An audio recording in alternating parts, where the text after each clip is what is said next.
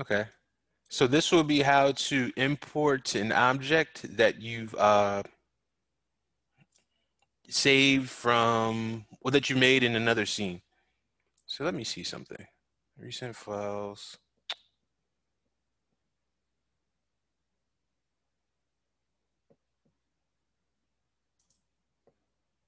Ooh, that doesn't exist. Uh,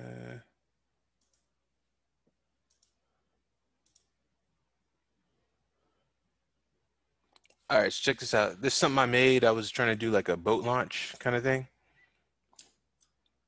No, actually, I did do it. My whole thing was I was trying to put uh, some water into it. So just to show you what's happening. I don't know if y'all have seen ship launches, but they just drop them into the water. So this is supposed to be like shh, bow. Okay. So there's my ship. And let's say I want to, I made this in one scene and I want to uh, export it, right? I'll select it or let's, I'll just select this part because this part is uh, just this, right? So I'll go like this. There's two ways to do it. You go file, export selection, and then I can go here and then I can say it is uh, ship, ship test, right?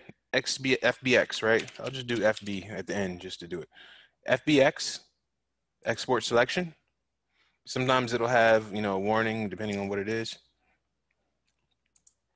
Okay, so I just did it FBX, right? And I'm gonna do another way, right? So I'm gonna do file, um, export selection, and we can do uh, OBJ, right?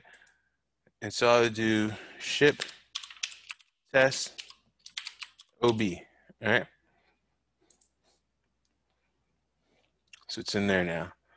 And I'll do one more actually. There's, so there's three ways. We'll go to cache, Alembic cache, uh, export selection to Alembic, desktop, ship, test, ABC. All right. I should have put the underscore.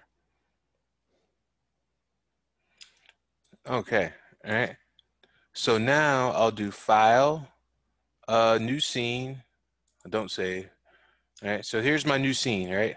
Now, if I want to bring those in, there's three different ways. I can go to File, Import. I'm in my desktop, Ship Test. Let's go to the OBJ. No, let's go to FBX. That was our first one, right? FBX. It's in there, right? So this is my ship. FBX. And FBX, I think, yeah, it comes in with animation. Right. Um, so let's hide this one. So I'll click it and press H. Oh, another way we can hide is we have layers too, just like in um, Photoshop. So if we go over here, um, I can select my object and then click on this last one create a layer and assign selected objects. So I create, click on this. I can call it boat or whatever. Oh, I spelled boat wrong. Well, whatever, right? Click on yellow or something. Now, if I click on V for visibility, I can hide it. So this is uh, yeah, way to just split up and have layers. And then if I want to like add another layer, I mean, add, add another object to my layer, I can just select the object, right click, add selected objects, and then we can disable their visibility. And also you can do uh, T for template, so it shows it's there, and reference means that it's there, but you can't like move it. you're not supposed to be able to move it. Oh, wait, maybe it's not reference. Maybe it was template.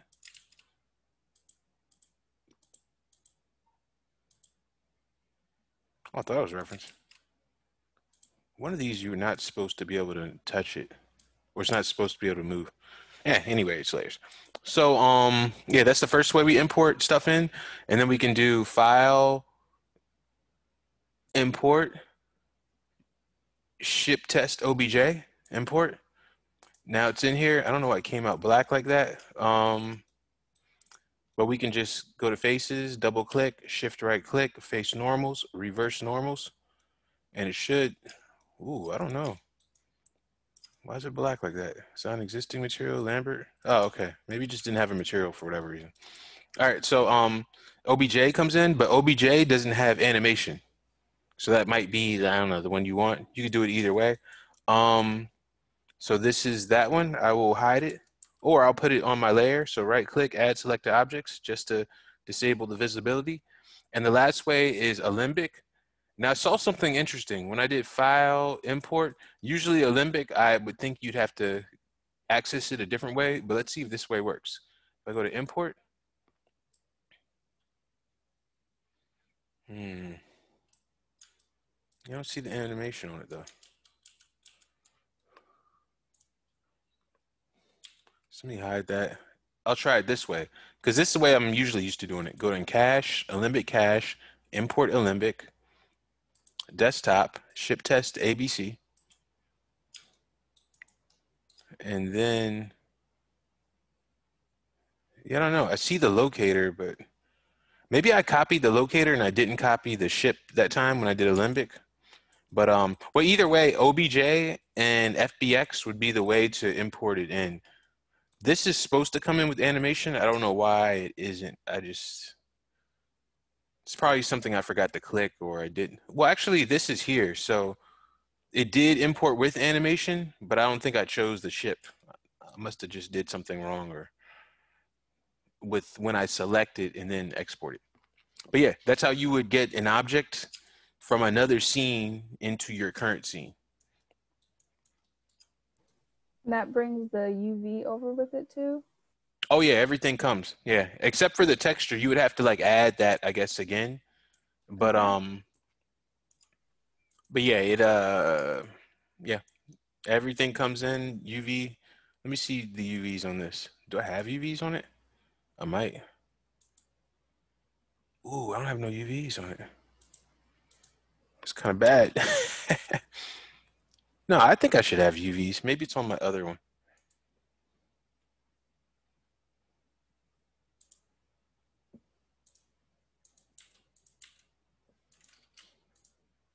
Wow, none of these have UVs on. I'm actually surprised. It could be an older scene though.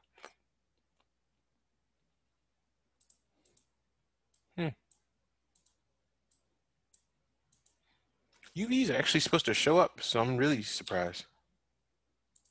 Oh, oh, I know why. You know why they didn't show up? Because it's not visible. Uh, so now when I click on it, it should have the UV. Yeah, see? That one doesn't have it. This one doesn't have it. Yeah, here goes.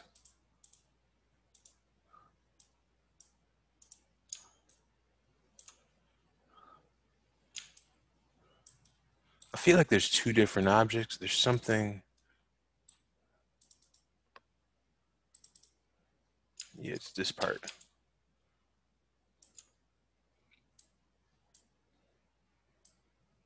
Well, anyway, yeah, it comes in with the UVs. So with the bottle, it should be nice and simple to do.